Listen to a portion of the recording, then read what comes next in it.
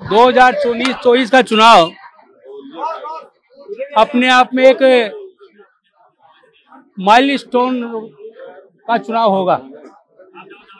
अब की बार 400 पार, फिर एक बार मोदी सरकार।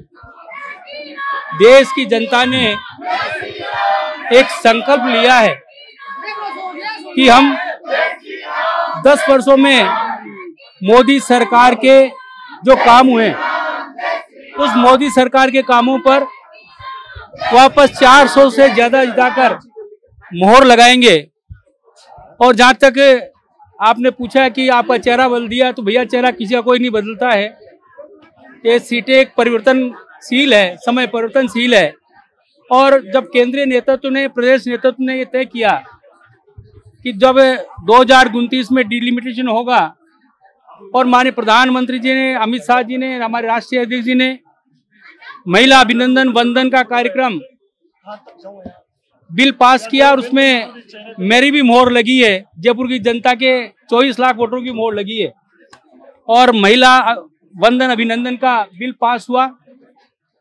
और जब 33 परसेंट महिलाएँ लोकसभा और विधानसभा में जाएगी तो राजस्थान की राजधानी जयपुर होने के नाते ये राजधानी से प्रयोग किया है। मैं केंद्रीय नेतृत्व का अभिनंदन करता हूँ, उनका वंदन करता हूँ। और जो केंद्र ने तय किया है, उसको मैं स्वीकार भी करता हूँ।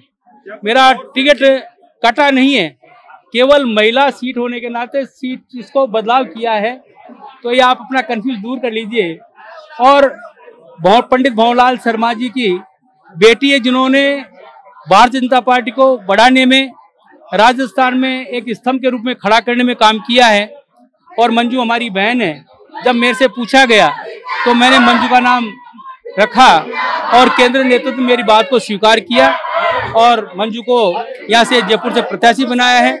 जिस प्रकार से लगातार दस वर्षों में जयपुर की जनता का मैंने सहयोग किया, सेवा की है और लगभग लगभग पैंतीस हज़ार करोड़ की योजना लाकर यहाँ पर विकास के काम किए हैं। मैं समझता हूँ कि आने वाला जो 2024 का चुनाव उन्नीस, अप्रैल उन्नीस को जब मतदान होगा तो मेरे किए हुए कार्यक्रम पे मोहर लगाने का जनता काम करेगी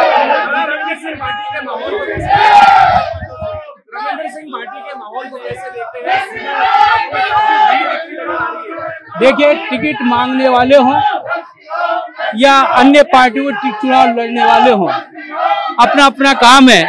हमारे भारतीय जनता पार्टी का मतदाता भारतीय जनता पार्टी का कार्यकर्ता संकल्पबद्ध है।